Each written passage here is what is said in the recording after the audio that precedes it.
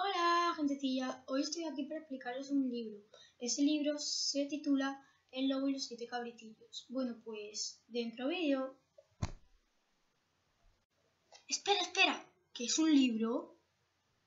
Bueno, pues un libro es una obra escrita o bueno, escrita, impresa, narrada o bueno, la dicen los actores, pero mm, no la dicen, está escrito. ¿Te ha aclarado ya la duda? Sí, sí, pero ¿por qué es importante leer?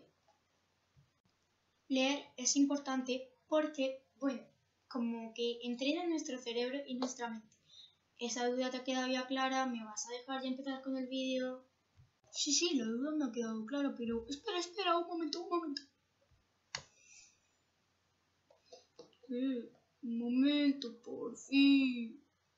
¿Cuál es la duda que tienes ahora? Venga. ¿Qué libro vas a leer? Otra vez, es que no me estás prestando atención, ¿eh? Voy a leer El lobo y los siete cabritillos. ¿Te ha quedado ya claro? ¿Puedo empezar ya? Sí, pues venga. Sí, sí, me ha quedado claro. Pero espera, espera, espera un momento, por favor. ¿Cuál es el problema ahora? Que quiero que empieces ya, que me estoy aburriendo. Eso es lo que estoy intentando. Empezar. ¿Me vas a dejar ya empezar? Venga, pues empieza. Juro. Bueno, pues estoy intentando empezar. Bueno, pues ya empiezo. Este es el libro que voy a contar. El primero. Para que no hayan dudas. El, lobo y los siete cabritillos. Bueno, el lobo y los siete cabritillos es un cuento, aunque no lo parezca de hadas. No sé si ya lo habré dicho, pero bueno. Em, me está poniendo nerviosa. Em, ¿Qué iba a decir yo? Mm, ¿Qué iba a decir yo? ¿Me lo puedes recordar? Ibas a empezar. Muy bien, estás atento. Mm, mm. Bueno, pues empiezo. Este cuento va sobre siete cabritillos. La prima de la mamá cabra enfermó. Mamá cabra tuvo que ir a visitar. Bueno, les dijo que no le abrieran la puerta a nadie y todo eso. Ellos lo prometieron, aunque luego lo que hicieron era otra cosa. Mm, el lobo que estaba al acecho llamó a la puerta. Hizo... Los cabritillos dijeron, ¿quién es?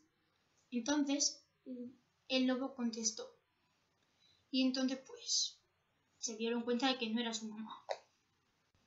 El lobo fue a la panadería y se aclaró la voz con... ¿Con qué se puede aclarar la voz? Eso, con claras de huevo.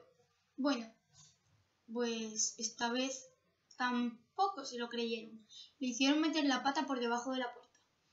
Bueno, esta vez, pues claramente, el lobo fue a la panadería y metió la pata en la harina. Ahí pues los mm, cabritillos sí se lo creyeron.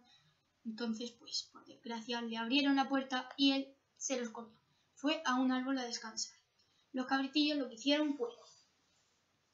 Bueno, pues intentaron defenderse, pero no pudo. Se los comió y fue a un árbol a descansar. La mamá cabra cuando llegó ante el desorden reinante, pues lo que hizo fue mm, llamar a un leñador y el leñador con el hacha buscaron al lobo, le abrieron la barriga, sacaron a los cabritillos y pues estos estaban sanos y salvos. Bueno, pues, mm, ¿qué pensáis? ¿Que aquí termina todo? No, no, no. Le metieron en la barriga al lobo cuantas piedras pudieron encontrar y se la cosieron. Lo que hicieron luego fue escapar corriendo, aunque se quedaron detrás de un arbusto esperando y vieron que en cuanto el lobo despertó, se asomó al agua para ver, para ver y cayó por el peso de las piedras, cayó ahí. ¡Pum! Bueno, mm, pues así termina el cuento. Y pues espero que os haya gustado y pues que lo leáis mucho de vosotros. Aunque penséis que es un cuento infantil, a lo mejor pues os gusta y estáis siempre enganchados ahí más bien. Adiós.